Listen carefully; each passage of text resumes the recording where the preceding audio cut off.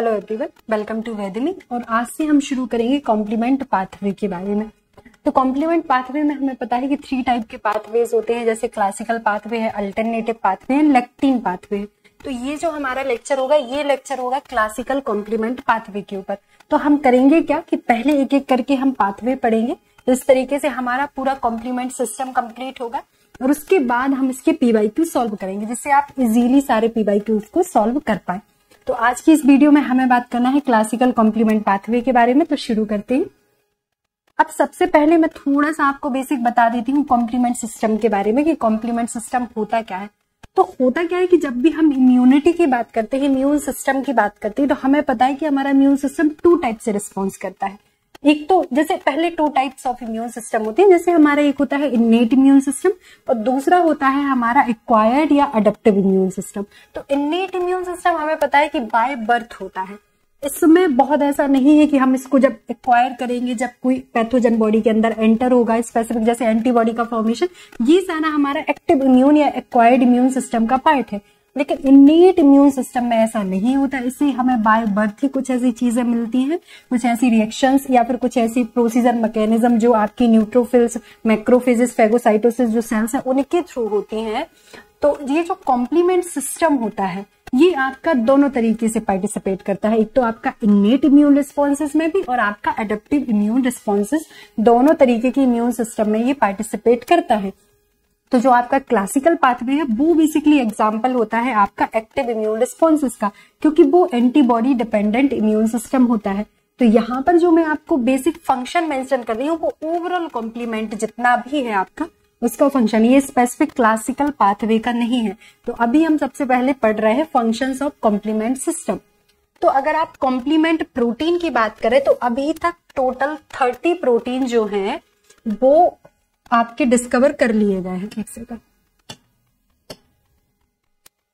तो टोटल कितने? आपके जो थर्टी प्रोटीन है, वो डिस्कवर किए गए हैं। पूरे आप कॉम्प्लीमेंट प्रोटीन की अगर बात करें, जो आपके इन्नेट एंड इम्यून या एक्वायर्ड इम्यूनिटी दोनों में पार्टिसिपेट करते हैं। अगर आप फ़ंक्शंस की बात करें तो आपके complement protein cell lysis bacterial and viral destruction में हेल्प करते हैं। अब सेल लाइसिस मतलब आपका ये जो कॉम्प्लीमेंट प्रोटीन होता है, वो बेसिकली क्या है? वो कुछ ऐसे कंपोनेंट है, वो कुछ ऐसे इम्यून कंपोनेंट है, जो आपके ब्लड में सर्कुलेट हो रहे हैं। ये सेल्स नहीं है ये साइटोकाइंस नहीं है, ये सिंपली मॉलिक्यूल्स या कंपोनेंट है। तो ये होता क्या है कि आपके ब्लड सर्कुलेशन में ये पूरे तरीके से सर्कुलेट करते रहते हैं। और जैसे ही ये फॉरेन एंटीजन को देते, देखते हैं तो इनका होता है एक्टिवेशन कैसे एक्टिवेशन होता है, वो अभी हम पढ़ेंगे। लेकिन एक्टिवेट होने के बाद ये सेल लाइसिस आपके बैक्टीरिया एंड वायरल डिस्ट्रक्शन दोनों मतलब बैक्टीरिया एंड वायरस दोनों के ही डीएक्टिवेशन या डिग्रेडेशन में मदद करते हैं। एक प्रोसेस होता है दैट इज़ कॉल्ड ऑप्सोनाइजेशन तो ऑप्सोनाइजेशन में होता क्या है कि जैसे आपका कोई एंटीजेनिक पार्टिकल है, जैसे ये बैक्टीरिया है, इसके ऊपर कुछ एपिटॉप होंगे और ये जो एपिटॉप है, क्या करेगा कि आपका जो कॉम्प्लीमेंट सिस्टम है कॉम्प्लीमेंट मॉलिक्यूल्स जो है, वो बेसिकली इनसे बाइंड हो जाते हैं और ये जो है ये प्रोसेस आपकी फर्दर जाती है फेगोसिटिक फेगोसाइटोसिस में। क्यों? क्योंकि ये आपका क्या है? एंटीजन था। फिर ये आपके कॉम्प्लीमेंट प्रोटीन थे। इन्होंने जैसे ही बाइंड करा तो आपका बैक्टीरिया होगा भी neutralise at the same time आपकी जो कुछ फेगोसाइटोसिस सेल होगी, जैसे आपकी मैक्रोफेज है एंड आपकी जो न्यूट्रोफिल्स है, इनके ऊपर प्रेजेंट होते हैं आपके कॉम्प्लीमेंट रिसेप्टर और ये कॉम्प्लीमेंट रिसेप्टर आपकी इन कॉम्प्लीमेंट प्रोटीन के साथ बाइंड करेंगे और आपकी ये जो फेगोसाइटोसिस सेल्स हैं, वो पूरी की पूरी सेल को इनगल्फ कर लेती है और इसी को कहा जाता है, ये जो प्रोसेस होगी दैट इज़ कॉल्ड ऑप्सोनाइजेशन और फर्दर जो प्रोसेस होगी that is called phagocytosis specific complement receptor present होते हैं आपके इम्यून सेल्स में जो ट्रिगर करती है वेरियस इम्यून फ़ंक्शन जैसे कि मैंने आपको बताया है इन्फ्लामेशन हो गया उस फ़ंक्शन में releases of immuno regulatory molecules system facilities की अगर बात करें तो आपके कॉम्प्लीमेंट सिस्टम और जो इम्यून क्लियरेंस होता है, जो आपकी इम्यून कॉम्प्लेक्सेस होते हैं मतलब antigen and antibody binding complex जो आपके ब्लड सर्कुलेशन में उनको भी क्लियर करता है और डिपोजिट करता है them into spleen and liver tissues तो इस डायग्राम के थ्रू आप थोड़ा और अच्छे से समझ जाएँगे कि कॉम्प्लीमेंट सिस्टम के क्या क्या फ़ंक्शन है। जैसे पहला है लाइसिस तो ये आपकी टारगेट सेल है। टारगेट सेल्स मतलब बैक्टीरियल सेल्स या वायरस है। वायरस इन्फेक्टेड सेल है। तो आपका जो कॉम्प्लीमेंट प्रोटीन है, वो क्या करेगा? वो एक्टिवेट होगा और प्लस में आपकी आके इनके सरफेस पर जुड़ जाता है। जैसे ही ये सरफेस पे अटैच्ड होता है तो आपकी सेल्स में ये लाइसिस करा देते हैं। That is called cell lysis ये है आपका ऑप्सोनाइजेशन तो ऑप्सोनाइजेशन में क्या होगा? ये आपकी बैक्टीरियल सेल्स थी कॉम्प्लीमेंट ने यहाँ पे बाइंड किया और ये जो पिंक कलर की यहाँ पे आपको दिख रहा है that is called complement receptor जो आपकी फेगोसाइटोसिस सेल जैसे मैक्रोफेज या न्यूट्रोफिन्स के पास होता है। और इस तरीके से ये पूरे के पूरे बैक्टीरियल जो आपके कॉम्प्लीमेंट सिस्टम से बाइंड है, उसको इनगल्फ कर लेता है। और ये यहाँ पर डीग्रेन्युलेशन का बताया है। डीग्रेन्युलेशन में क्या होगा? जो आपकी कुछ सेल्स है, जैसे आपकी मास सेल्स है या बीसोफिल्स है उनमें डी ग्रेन्युलेशन होता है एंटीजन जो है मास सेल्स के ऊपर आईजीई एंटीबॉडी प्रेजेंट होती है, उसके ऊपर क्रॉस लिंकिंग करके बाइंड करेगा और डी डी ग्रेन्युलेशन होगा। इस तरीके से यहाँ पर क्या होगा? कुछ कीमोकाइंस का सिक्रेशन होगा जो आपकी न्यूट्रोफिल सेल्स को अट्रैक्ट करती है और neutrophil cells again phagocytic cell है, जिनके पास ये कॉम्प्लीमेंट रिसेप्टर है। ये बाइंड करेंगे और इस तरीके से इन्फ्लामेशन रिस्पॉन्सेस होता है।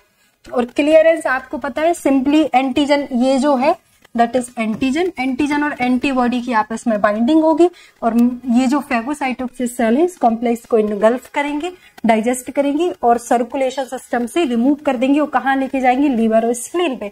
तो इसके फोर बेसिक फ़ंक्शन होते हैं lysis opsonization activation of immune inflammatory responses and clearance of immune complexes तो ये कुछ बेसिक फ़ंक्शंस है।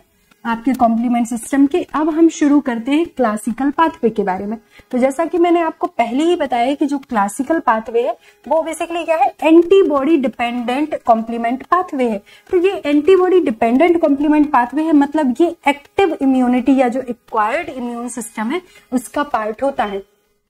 तो क्लासिकल कॉम्प्लीमेंट पाथवे की जब आप बात करेंगे तो ये एंटीजन एंटीबॉडी कॉम्प्लेक्स पाथवे है, बिल्कुल। इसमें अब कौन सी एंटीबॉडी पार्टिसिपेट करती है? ये, इसमें मैंने जितनी भी पॉइंट वाइज इन्फॉर्मेशन लिखी है उसमें से आपको एक भी इन्फॉर्मेशन नहीं करनी। आपको सारी इन्फॉर्मेशन अच्छे से सुननी है और याद रखनी है।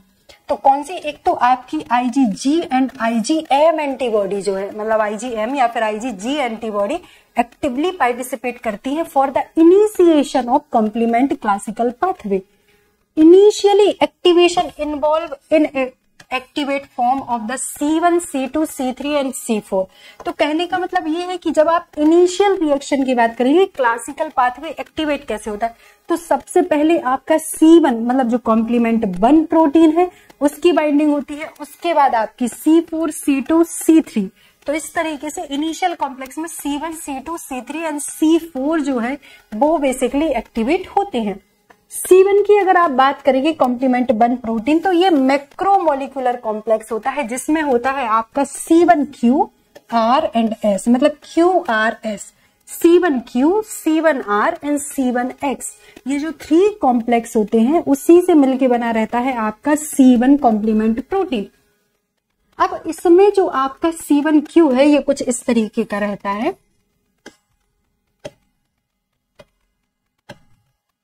तो जैसे होगा क्या, इसमें से ये आपका जैसे Q है, ये R है एंड ये S है। ये आपको अभी आगे चल के जो है डायग्राम के थ्रू मैं बताऊँगी।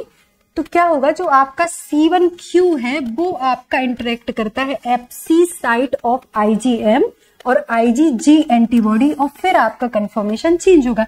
ये सब चीज़ आपको अभी समझ में आ जाएगी, बिल्कुल परेशान मत होना। ये सारी इंफॉर्मेशन रखना है, फिर अभी हम डायग्राम पे इसको पूरे तरीके से अप्लाई करेंगे।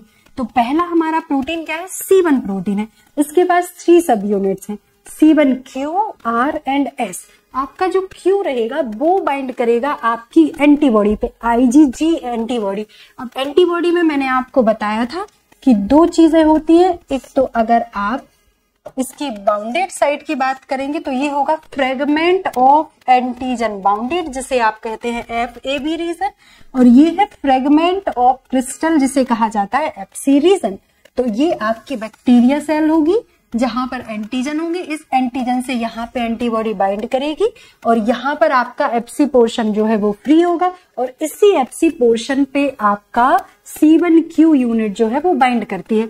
जैसे ही सी वन क्यू ने बाइंड करा तो इसका जो स्ट्रक्चर था उसमें अल्टरेशन हुआ। जैसे ही इसमें अल्टरेशन हुआ तो अब कौन सी यूनिट बची? आर थी एंड एस थी। तो ये दोनों एक्टिवेट हो जाएँगे। And serine proteases enzyme in cascade pathway इसको भी एक्टिवेट करेंगे। जो आपका सी एस है, अब वो क्लीप करेगा सी फोर को एंड सी टू को। सी फोर को ये क्लीप करेगा C four A and C four B में। वैसे ही ये सी टू को भी क्लेप करेगा। कौन सा? सी वन एस क्लेप कर रहा है सी टू को। C two B and C two A में। तो होगा क्या कि आपका जो सी फोर ए है, ये आपका फ्री हो जाएगा और बी आपका बाउंड कर जाएगा। किसके साथ? सी वन के साथ। और वहीं पर आपका जो सी टू ए है, वो बाउंड करेगा। एंड सी टू बी जो है, आपका फ्री हो जाएगा। तो इस तरीके से जो आपका कॉम्प्लेक्स बनेगा C four B and C two A जिसे कहा जाएगा सी थ्री कन्वर्टेज क्योंकि ये जो आपका कॉम्प्लेक्स है सी फोर बी इसे दोनों तरीके से लिख सकते हैं। सी टू ए भी लिख दीजिए। तो ये आपका क्या बना है? सी थ्री कन्वर्टेज जो आपका सी थ्री को आप कन्वर्ट करेगा। तो सी थ्री को ये कन्वर्ट करेगा कैसा? अगेन सी थ्री ए में एंड सी थ्री बी में। अब ये जो आपका ए है, ये फिर से फ्री हो जाएगा। और आपका ये जो सी थ्री बी है, वो क्या बना लेगा?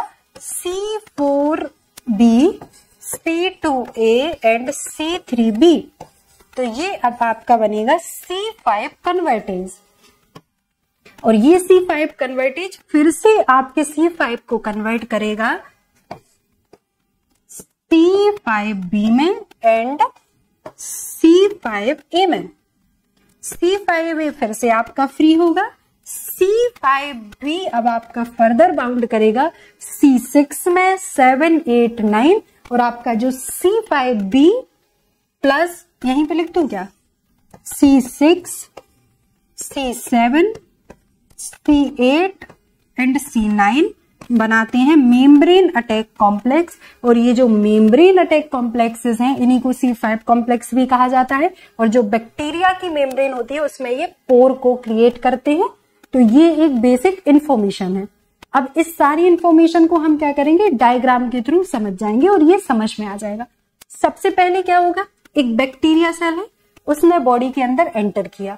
उसने जैसे ही बॉडी के अंदर एंटर किया तो होगा क्या? ये है लीवर जैसे। ये लीवर है। तो लीवर में क्या होती है? हेपेटोसाइटिक हेपेटोसाइट्स जो सेल होती है, वो सिंथेसाइज करती है कॉम्प्लीमेंट प्रोटीन को। और सिंथेसाइज करने के बाद ये जो आपका कॉम्प्लीमेंट प्रोटीन है इसको ये कहा जा, लेके जाती है? ब्लड वेसल्स में। तो ये आपका ब्लड वेसल्स है। तो यहाँ पर आ जाएँगे आपके क्या? कॉम्प्लीमेंट अब होगा क्या कि जैसे ये कोई टिश्यू है अब इस टिश्यू में किसी बैक्टीरिया की एंट्री हुई। जैसे ही बैक्टीरिया की एंट्री हुई तो होगा क्या कि टिश्यू में डैमेज होगा? जब यहाँ पर टिश्यू में डैमेज होगा तो सेल डैमेज हुई मतलब ये जो सेल है, ये जो डैमेज सेल है, ये सिक्रेट करती हैं कीमोकाइंस का।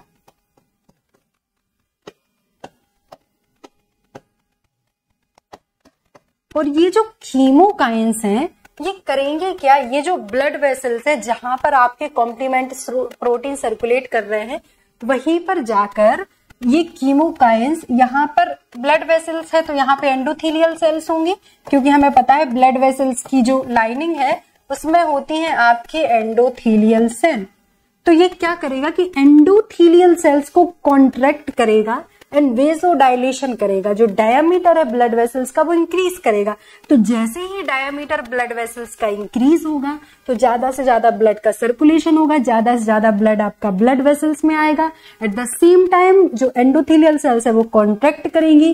तो जो आपके न्यूट्रोफिल सेल्स है प्लस में जो आपके कॉम्प्लीमेंट प्रोटीन है, वो कॉम्प्लीमेंट प्रोटीन यहाँ से निकलते हुए फिर आपके आ जाते हैं टिश्यू एरिया में। मतलब जहाँ पर डैमेज हुआ है तो समझे हुआ क्या? लीवर ने सिंथेसाइज करा। सिंथेसिस करने के बाद ब्लड वेसल्स में आपके कॉम्प्लीमेंट प्रोटीन है, लेकिन इनएक्टिवेटेड फॉर्म में। फिर जहाँ पर भी कोई डैमेज हुआ, जिस भी बॉडी के पार्ट में टिश्यू एरिया में डैमेज हुआ तो होगा क्या कि ब्लड वेसल्स का डायमीटर बढ़ेगा सर्कुलेशन ज़्यादा होगा, ज़्यादा ज़्यादा कॉम्प्लीमेंट प्रोटीन आएँगे एंडोथीलियल सेल्स का कॉन्ट्रेक्शन होगा प्रोटीन सिक्रेट होके डैमेज वाली साइड पे आ गए। अब जैसे ही कॉम्प्लीमेंट प्रोटीन आ तो गए, लेकिन स्टिल ये अभी क्या है? इनएक्टिवेट है। अब ये जो बैक्टीरिया सेल है, ये जैसे ये बैक्टीरिया सेल्स यहाँ पे है। तो बैक्टीरिया सेल से तो सिंपल सी बात है, सबसे पहले एंटीबॉडी आएगी, क्योंकि कॉम्प्लीमेंट प्रोटीन डायरेक्टली तो बाइंड अभी होगा नहीं, क्योंकि हम क्लासिकल पाथवे की बात कर रहे हैं। डायरेक्टली भी बाइंड होता है तो वो सेल लाइसिस प्रोसेस अलग होती है। लेकिन अभी हम क्लासिकल पाथवे कर रहे हैं तो यहाँ पे क्या होगा, सबसे पहले एंटीबॉडी आके बाइंड करेगी। अब एंटीबॉडी ने बाइंड करा तो ये उसका कौन सा? एफ़ ए बी रीजन है। Fragment of antigen binding region तो एफ़ ए बी रीजन से उसने बाइंड करा, उसका एफसी पोर्शन फ्री था। तो अब क्या करेगा? कॉम्प्लीमेंट वन प्रोटीन सबसे पहले आएगा। तो जो कॉम्प्लीमेंट वन है, उसकी थ्री सब यूनिट है। C one Q C one R and C one S तो ये देखिए, ये जो आपका सी वन क्यू यूनिट है, ये जो लॉन्ग वाला आपको दिख रहा है सी वन क्यू यूनिट ने क्या करा? यहाँ से बाइंड करा सबसे पहले आपके एंटीबॉडी से एंटीबॉडी के एफसी रीजन से। जैसे ही इसकी बाइंडिंग हुई तो आपका पूरा का पूरा जो सी वन कॉम्प्लीमेंट प्रोटीन था, उसमें जो R and S sub unit थी, उसमें हो गया स्ट्रक्चर अल्टरेशन जैसे ही अल्टरेशन हुआ तो जो आपकी सी वन एस जो है, ये वाला देखिए। C one Q one R one S one ये जो आपकी आर टू एस टू ये एस जो यूनिट है ये क्या होगी? ये आपकी होती है एक्टिवेट आर भी एक्टिवेट होती है एस एक्टिवेट होती है और एस जो है वो एज अ सेरिन प्रोटीएजेस काम करती है। तो इसका काम का हो, क्या होगा कि जो आपका सी वन एस है वो अब आपका दूसरा जो प्रोटीन है C one four and C two ये भी अब आपके इलेक्टिव फॉर्म में है। तो इनको क्लीप करेगा और इनको एक्टिवेट करेगा। तो करेगा क्या ये कि जैसे ये आपका सी फोर था, ये सी टू था। तो अभी ये इनेक्टिव फॉर्म में थे तो सी वन एस ने इनको क्लीप किया और एक्टिव किया, जो इसका ये सी वन फोर था, वो फ्री हो गया।